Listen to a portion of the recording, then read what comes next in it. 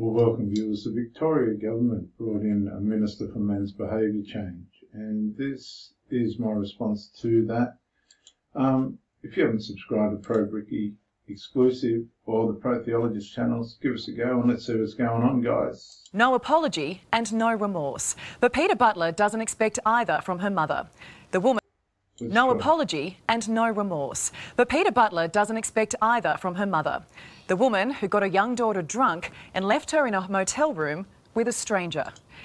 The woman got her young daughter drunk and then left her in a hotel room with a stranger. I'd like to see who this woman is. It was the ultimate betrayal. Jailed and now free, her mum holds one last secret. Who was that man? Oh, so the mother was jailed and now free, but she never ever sold out the man. Um, I've had girlfriends that have had personal troubles in their life, and um, yeah, it's, it's it's tragic. But this is a bad one. I would not not have been raped that day if it wasn't for her. Therese, what sort of a mother does that to There her own goes child? Therese. There's Therese. Look at it. Look at it. Please. What sort of a mother does that to her own public, child? You don't know the facts. What stays with you? The smell, like his cologne, I remember that smell so vividly. Um, the face stubble. What about Tomo? Where's Tomo, Therese? Who the f- is he? You think that she has that final piece of the puzzle that would bring that man to justice? Yeah Or she knows someone who does. Therese, why didn't you help them find? Excuse me, Therese, why didn't you help them find the man Okay, so you've got the simp boyfriend. The mother's a mess. Look, she's she knows what she's done. who raped her daughter? I There you go. There she is. tried. Peter Butler has endured the unimaginable. This is the face of a woman who has overcome trauma most would find insurmountable. It's been 18 years since your mother betrayed you in the most evil way. How are you doing now? I'm actually doing incredibly. Remarkable, given at just 16, Peter's mum Therese arranged for her to be raped. She took her on a so called girls' weekend to Toowoomba, west of Brisbane, gave her alcohol, and offered her up to a man known as Tomo.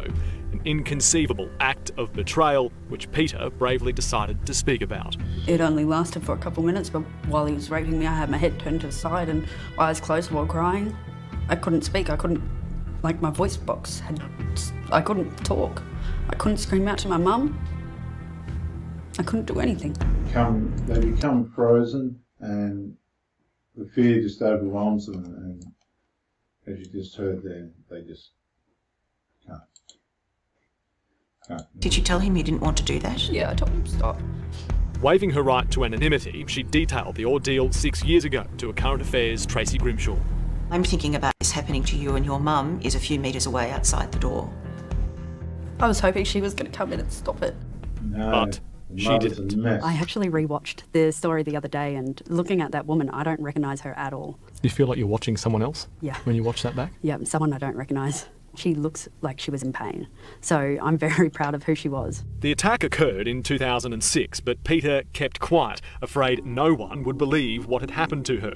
When she finally reported it to police, she also managed to get her mother to confess her part in it during a secretly recorded phone call. I told him no, I was crying. I was telling him. He was still, yeah, it was still rape, but you were 16. I wouldn't let him touch you under, under 16. No way. Why did you? Oh, so I wouldn't let him. T- hang on. 16, I wouldn't I wouldn't let him touch you. let him under- touch you under, under 16. No way. See, so she let him. She allowed it. Why did you come in that room and you stopped I had to trick her into admitting it because there was no no way. If police turned up at her doorstep, there is no way she would have ever accepted it. She confessed to you. Denial, She was found guilty. Has she ever apologised to you? No. And I'll never receive that, and I don't expect. No, and she won't because if she apologises, she endorses that she planned it and was a um, accessory to the fact. to receive it. How do you feel knowing this monster is potentially still out there? I fear for whoever he might have touched since. He deserves to be found. He Yeah, deserves to be brought to justice. There'd be multiple victims. Therese was sentenced to four years behind bars, suspended after 12 months, pleading guilty to procuring a child for carnal knowledge. She was released in 2018, but Queensland parole laws have prevented us speaking with her until now. We never had the chance to ask your mother about what she did to you. How do you think she's going to react when we do? You'll definitely get a show. Therese, what sort of a mother arranges her own daughter's Excuse rape? me, you don't know the facts about it. So what sort of a mother does that to her out. own Don't child? do it in public. What sort of a mother Don't does that to in her own child? You don't know the facts and it was all lies. Therese, are you sorry for what you did? You don't know the facts. The facts are, despite confessing, pleading guilty, and serving jail time, Therese has continued to. Pre- See the pointing finger? Hang on. See the pointing finger?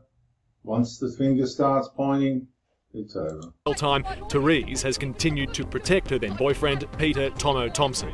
This image of Tomo was created by police after Peter came forward and was revealed by Current Affair in 2018.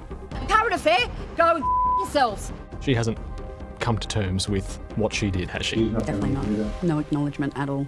She's trying to make people believe this sob story, even though the evidence is right there. You mm. admitted to it. You did this.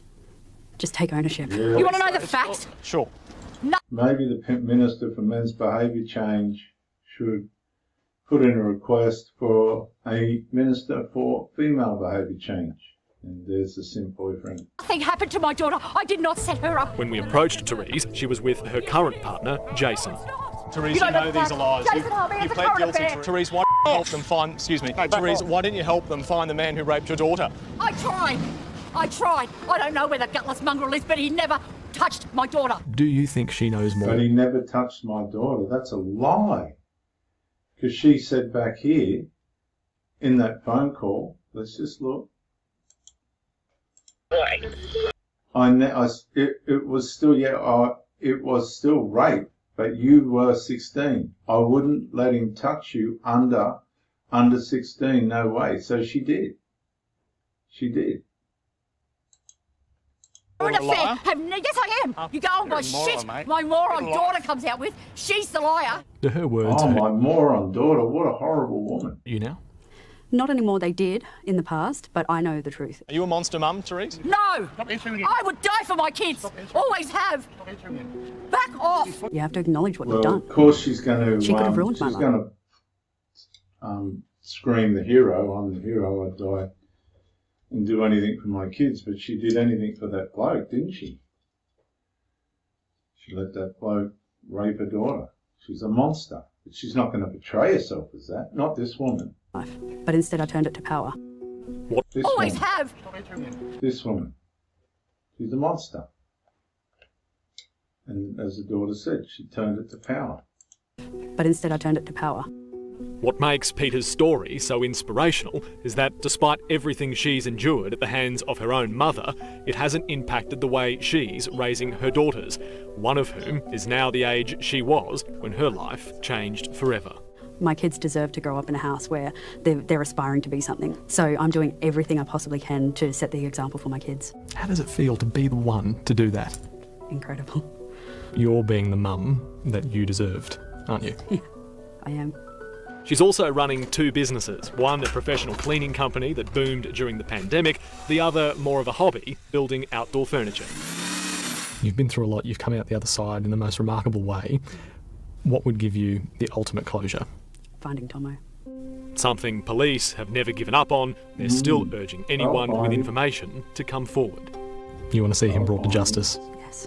Not just for me, but for others that 100% he would have done this to.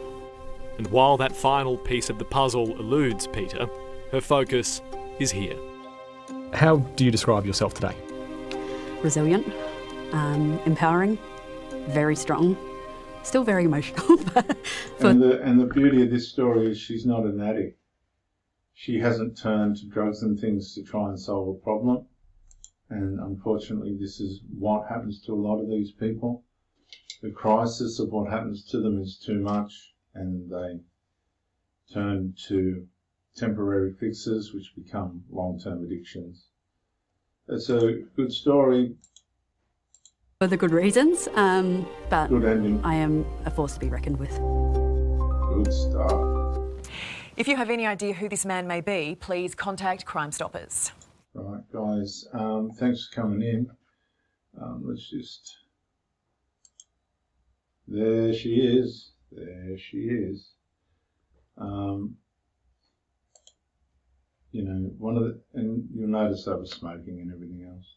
The daughter doesn't do that. There's two ways these people go that get sexually abused. They either go into self-harm, self-trashing, or they go into self-preservation and preservation of others. Unfortunately, a lot of the time these people do go into self-harm, self-trashing and pass it on to their children and just goes down from there.